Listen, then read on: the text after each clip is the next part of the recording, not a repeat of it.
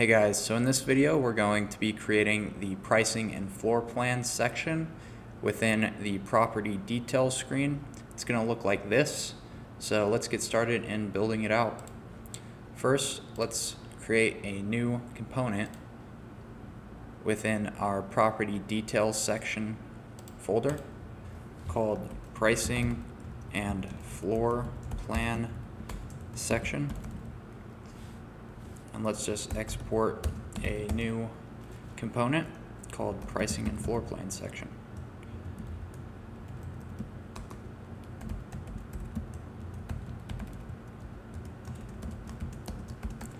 And it's going to be taking in a one prop, which is going to be a property. So we'll call it that.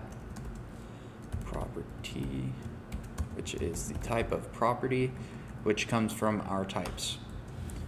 All right, now let's navigate to our property details screen and add in the pricing and floor plan section so that we can actually see what we're working on while we do the coding. And we'll pass in the property here, which will just be the item. And it's gonna say that we don't have anything returning from here. So let's just add a return statement of empty brackets currently. And let's start to build this thing out. So for the imports, we need to import useState and useEffect from React, text and divider from UIKitten, style sheet, image, view, and touchable opacity from React Native, and theme and row from our local components. Down below here, I'm just going to create my styles.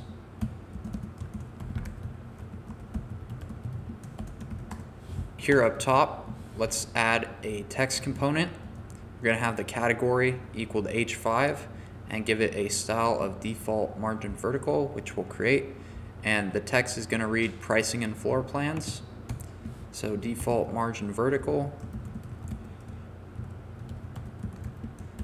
is just going to have a margin vertical of 10. And now it's rendering the pricing and floor plans. So within this component, we have to remember that we want to show the different types of apartments that are available within the property. So we need to go to our properties in the data and actually add in some apartments to this. So I'm here I'm just going to create a new field called apartments and I'm going to assign it to an array of apartment objects. And if you just like to copy and paste this, just go to the GitHub link in the description and it will be in the data file. So right here, and then look for properties. So I'm going to add in these apartments into every other one.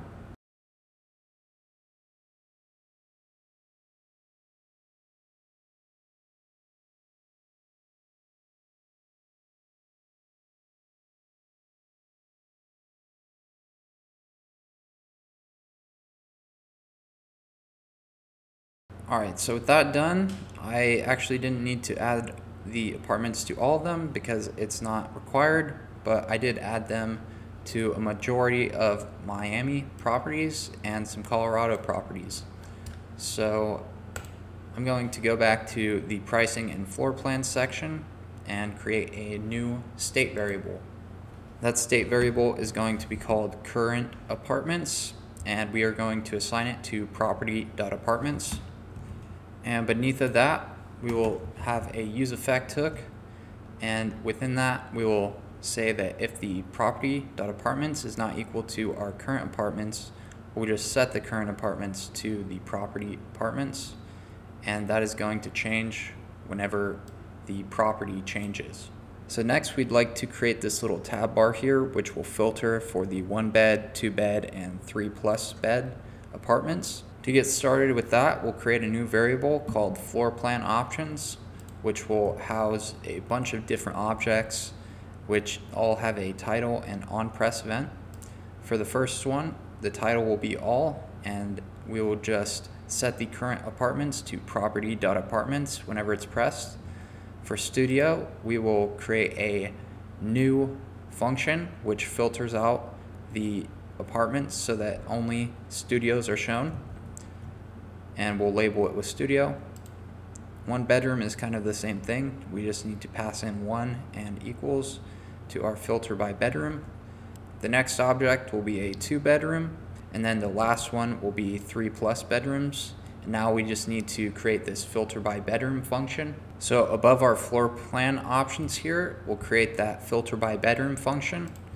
It will take in a number of bedrooms, which will be a number, and an equality type, which will either be greater than, GT, or equal, EQ. And if the property does have apartments, then we'll create a new variable called filtered. And if the equality type is equal to EQ, then we'd like to filter out our apartments so that the number of bedrooms is equal to the passed in number of bedrooms. Otherwise, we would just like to get the number of bedrooms as greater than the passed in number of bedrooms.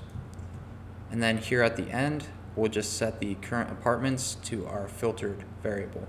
Now we'd like to create a new component, which looks like this. So go into your components here and create a new file called tabbar.tsx. Up top, we'll import touchable opacity, style sheet, and view style from React Native, text from UIKitten, and use state from React. Then we'll import theme and row and then we need to export our component here, which is tab bar. It's going to, it's going to take in tabs and style. Tabs is not optional. It's going to be an object, which has a title, which is a string, and an on press event, which is a function that can really be any.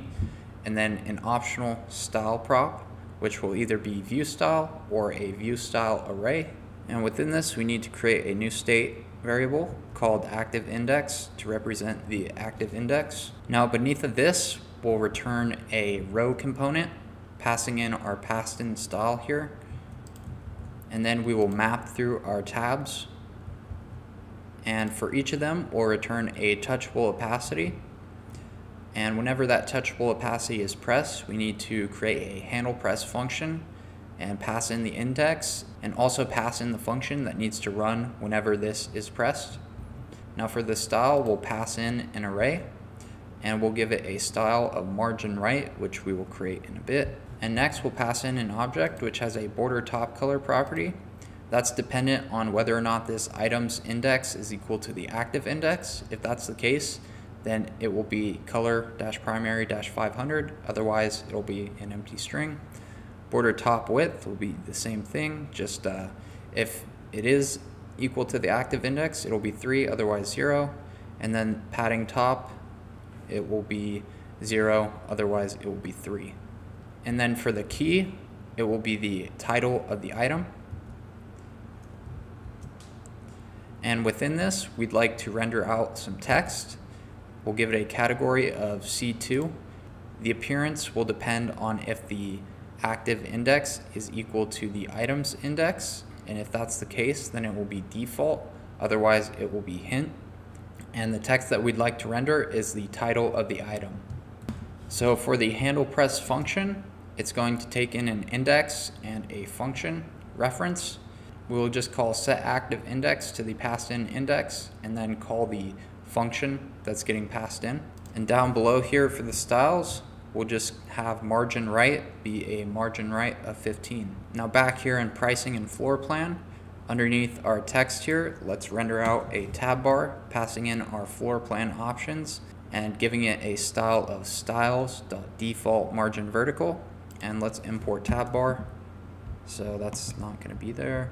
And remember to import the local component instead of UIKitten's component. So tab bar Okay, so that's rendering out. All right, so now if the property does have apartments and the length of the array of the apartments is greater than zero, then we want to map through all of those apartments and return a view, which will have the style uh, of styles.container and default margin vertical. The key will be equal to the ID of the apartment And down here, the style of container is padding of 10, width of 100, 100%. Border color is going to be our color dash gray. Border width will be 1 and border radius will be 5.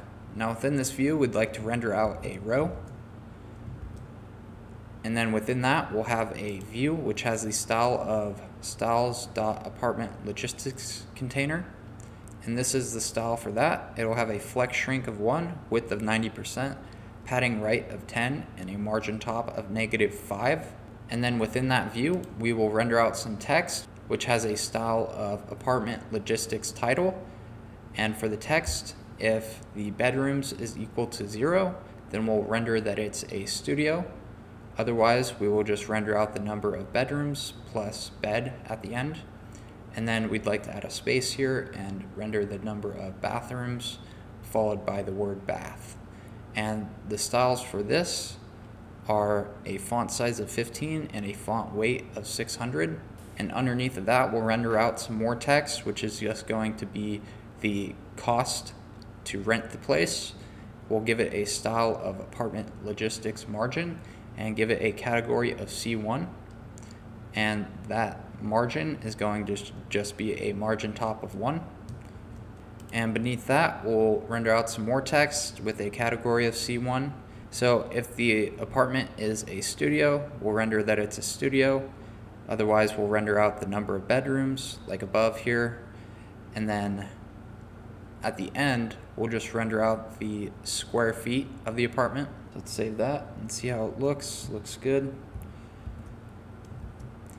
And if there are images for the apartment, we'd like to render out an image with the source being the first image within the images array. And we'll give it a style of styles.image, which will be a height of 60, width of 60, border radius of 5, border color of theme color dash gray, and border width of 1.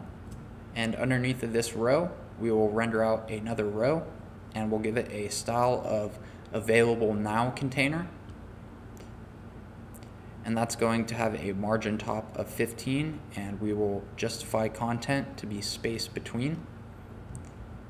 Within that, we will have some text. The category is going to be C1 and the style will be a font weight of 600. And for the text, we'll just say available now. And within this, we'll render out some text, which has a category of C1 and status of info and reads floor plan details.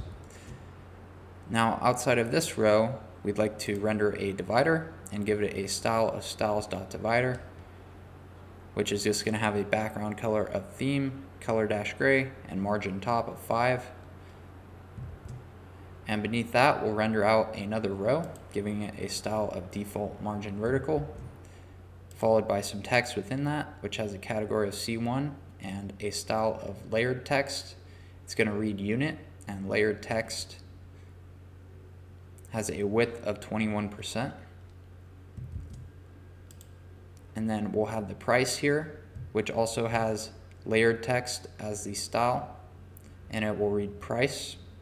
And then we'll also have the square footage, and then we'll render out the availability and give it a style of available text, which has a width of 37%.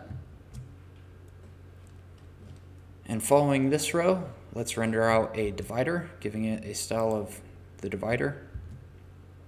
And following that, we'll render out another row. And within this row, we'll display the unit number, the amount for rent, and the square footage of the apartment will also display a date here. Now in prod, you'd want this to be set by the user or rather the property owner. But for this, we'll just set it for the current date. And we'll follow that row by a divider. Now down here in this else clause, instead of rendering an empty component, let's render some text which states that no apartments are listed. And we'll give it a style of apartment logistics title. All right, now let's go to an apartment which doesn't have any listed. So here's an example where none are listed, but we are actually showing that there are options that we can choose from. So let's add some code into our project here, which will detect if there are no apartments listed or or only certain types of apartments are listed, for example, all our studios, then we would only render out this studio option instead of the one bedroom, two bedroom, and three plus bedrooms. So let's get started on adding that. So to start off, we need to create some new variables. We'll have contains studio, contains one bed, contains two bed, and contains three plus, and those are gonna be equal to false. And now outside of our component, let's create a function called remove unnecessary buttons. It will take in an array of objects which have the title, which have a property of title and an onPress event. And it'll take in a title which will be either studio, one bedroom, two bedroom, or three plus bedrooms. And within this function, we just want to get rid of the passed in title so we'll say array.splice, and then we will find the index where the title is equal to the passed in title, and then we'll follow that by a1. Now beneath these variables, let's create an if statement stating that if there are apartments in the property, we'd like to loop through all of those apartments. And if the bedrooms of the current apartment is equal to zero, then that means that it's a studio. So contains studio equals true. If the bedrooms is one, that means it contains a one bed, so set that to true. If it's equal to two, then contains two bed is equal to true. And if it's greater than or equal to three, then contains three plus is true. And then outside of that for loop, if it doesn't contain a studio, then we need to remove the unnecessary buttons, which is going to be the studio button. And if it doesn't contain a one bed, remove that one bedroom. If it doesn't contain a two bed, we'll remove the two bedrooms. And if it doesn't contain three plus, then we'll remove the three plus bedrooms. So currently there are no apartments listed, but we can still go through the options on the tab bar. So we don't want that. So let's just move this tab bar one line below so that it fits within this conditional logic. So first we need to wrap the current apartments mapping into a fragment and then into some brackets and then we'll move the tab bar into this. So let's save that and now you can see that no tab bar is going to be shown for when no apartments are listed. So let's go back and go to an option where it doesn't have everything like this, and we can see that really there are only one bedrooms and studios. And we can filter for those. Or if we go to all, we can see all of the different apartments. Now let's go to one where it does have all. I think this one does, so yeah, it has studios, a one bedroom, a two bedroom, and a three plus bedroom. So this section is done. I hope that you guys enjoyed and stay tuned for the next video. Thanks for watching.